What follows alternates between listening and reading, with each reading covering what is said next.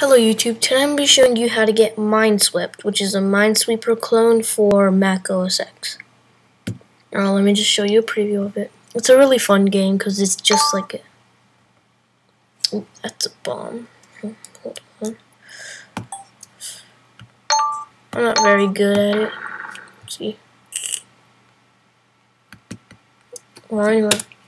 I mean, it's basically just like a clone you know, you got everything. You can go here, preferences, got all everything, allow undo.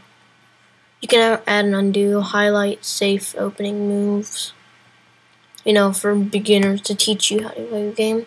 And you can change the difficult difficulties here. You can also show mines if you're a cheater.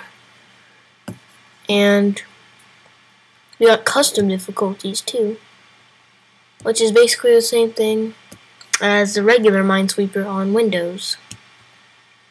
It's just called something different. So let me just show you like expert or something.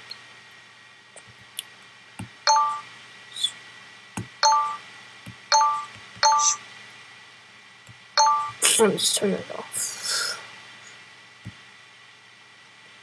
But anyways, that's how you do it that's how we that's a preview so now I'm going to show you how to get it.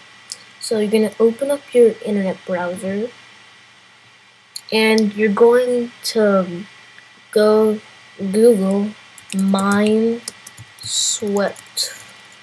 oops sweat.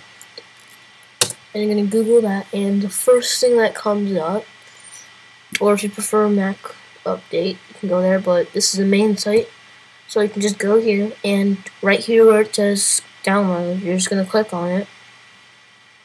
And then you're to go to your, and then once it's done downloading, it'll be right here in a folder. So I'm to open it up. And then you open it up and here it is.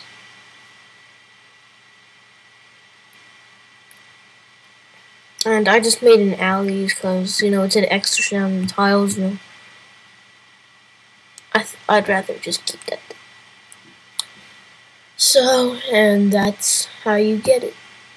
And until I find more freeware games for Mac OS X, this is gonna be, this is probably, this, until I find more freeware games, then I'll post a video. So, thanks for watching.